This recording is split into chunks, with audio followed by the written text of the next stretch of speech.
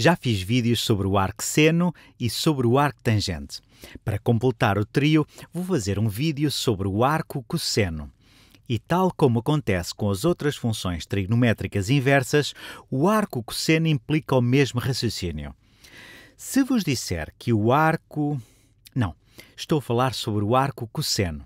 Se vos disser que o arco cosseno de x é igual a θ, isto equivale a dizer que o inverso do cosseno de x é igual a θ.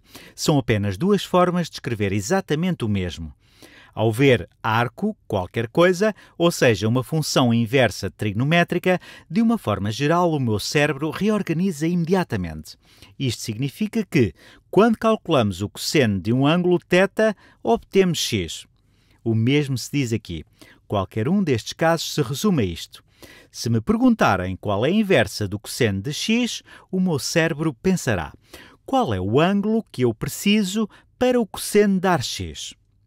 Posto isto, vamos aplicar isto num exemplo. Suponhamos que temos o arco seno. Não, são dois Cs. Imaginemos que nos pedem para calcular o arco cosseno de menos um meio. Isto será igual a um determinado ângulo.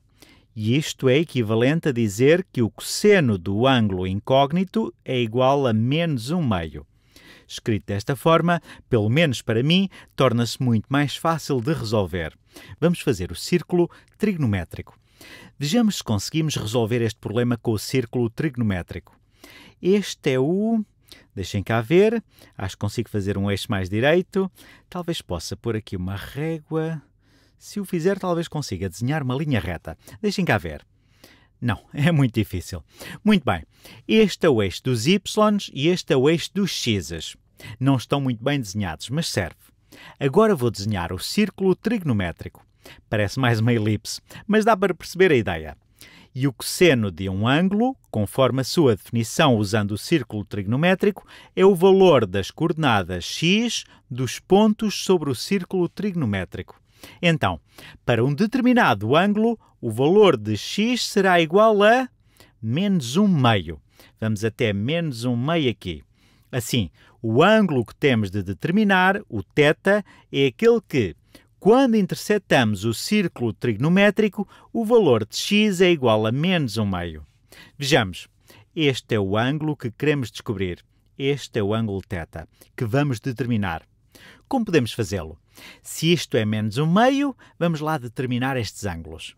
O modo como eu gosto de pensar é começar por determinar este ângulo. Depois de o fazer, posso subtrair essa amplitude a 180 graus para obter este ângulo assinalado a azul claro, que é a solução do nosso problema. Vamos desenhar este triângulo um pouco maior. Este triângulo... Não, vou fazê-lo antes assim. O triângulo é mais ou menos assim em que este comprimento é um meio. Este comprimento é um meio. Este comprimento é 1.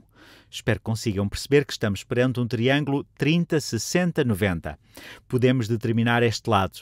É a raiz quadrada de 3 sobre 2. Para isso, basta recorrer ao teorema de Pitágoras. Vou fazer isso. Vamos designar este lado por A. Fica A ao quadrado mais 1 meio ao quadrado que é um quarto, é igual a 1 ao quadrado, que é 1.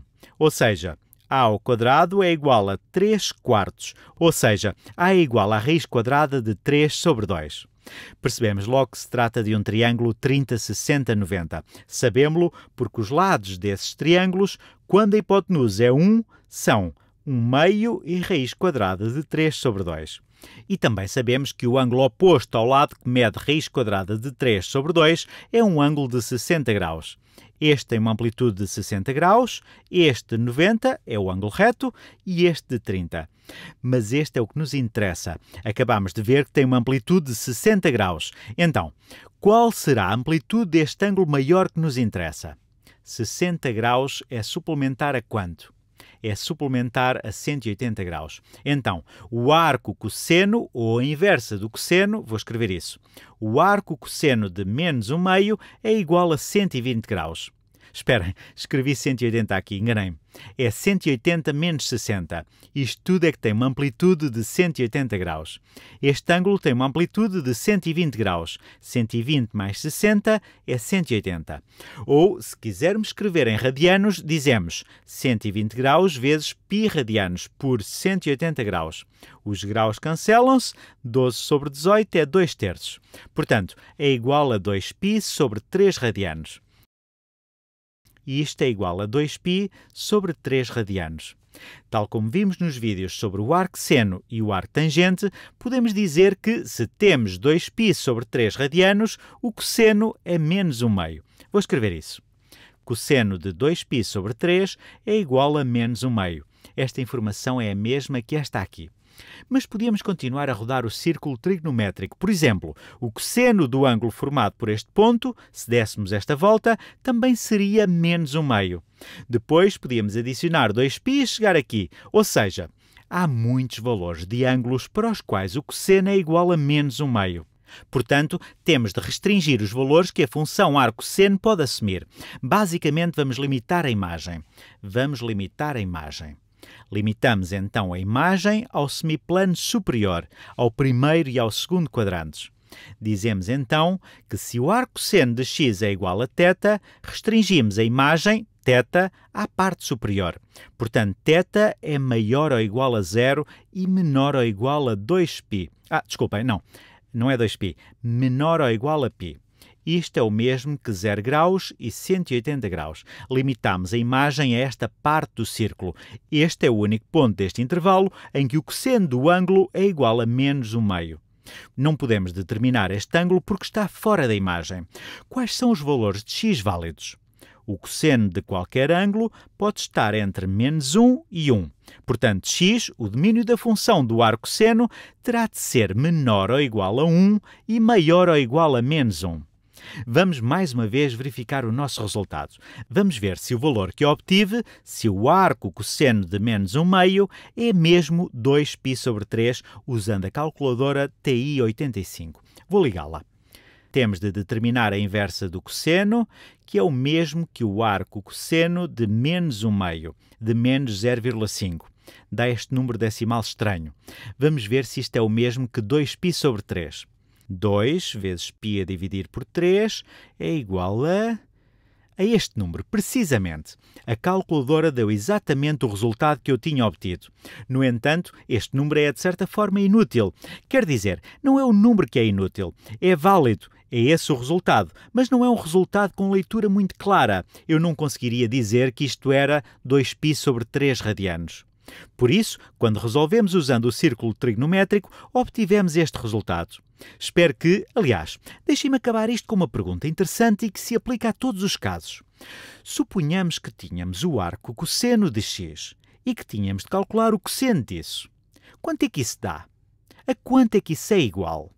Bom, relativamente a esta parte aqui, podemos dizer que o arco cosseno de x é igual a θ. Isso significa que o cosseno de θ é igual a x. Assim, se o arco cosseno de x é igual a θ, podemos substituir isso por θ, depois o cosseno de θ, bom, o cosseno de θ é x. Quer dizer que isto é igual a x. Espero não vos ter baralhado. Estou apenas a dizer que o arco cosseno de x é θ e, por definição, isso significa que o cosseno de θ é igual a x. Estas duas afirmações são equivalentes, significam exatamente o mesmo. Portanto, se pusermos θ aqui e calcularmos o cosseno de θ, terá de ser igual a x. Agora vou fazer-vos uma pergunta de bónus, um pouco mais complicada. Se eu vos perguntasse isto aplica-se a qualquer x que ponhamos aqui, para qualquer valor entre menos 1 e 1, incluindo estes dois valores. Se eu vos perguntasse qual é o arco cosseno do cosseno de θ, isso será igual a quê? A minha resposta é depende do θ. Se θ estiver, se pertencer à imagem do arco cosseno, se θ estiver entre 0 e π, se pertencer à imagem do arco cosseno, então isto será igual a θ. Se isto se aplica a θ, então a resposta é θ. E se calcularmos para um θ que não pertence a esta imagem? Vamos experimentar. Vamos calcular. Vou começar por fazer um exercício com θ na imagem do arco seno. Vamos calcular o arco cosseno do cosseno de, sei lá, vamos fazer um que já saibamos. Vamos calcular o cosseno de 2π sobre 3. O cosseno de 2π sobre 3 radianos é o mesmo que arco cosseno de menos 1 meio. Cosseno de 2π sobre 3 é menos 1 meio. Acabámos de ver isso no início deste vídeo. Depois resolvemos isto. Dissemos que é igual a 2π sobre 3. Portanto, se θ pertence ao intervalo se estiver entre 0 e π, funciona, porque a função de arco-seno só pode produzir valores entre 0 e π. Se eu vos perguntasse qual é o arco cosseno do cosseno de, sei lá, de 3π, de 3π, vou desenhar o círculo trigonométrico no instante. Aqui temos os eixos, o que é 3π, 2π é uma volta completa, depois acrescentamos mais um π e vimos dar aqui. Ou seja, demos uma volta e meia ao círculo trigonométrico. 3π é aqui. Qual é a coordenada do x? É menos 1. Cosseno de 3π é menos 1. E qual é o arco cosseno de menos 1? O arco seno de menos 1 Lembrem-se, a imagem, o conjunto de valores para o arco seno, são os ângulos no semiplano superior entre 0 e π. Portanto, o arco cosseno de menos 1 é π. Isto é igual a π.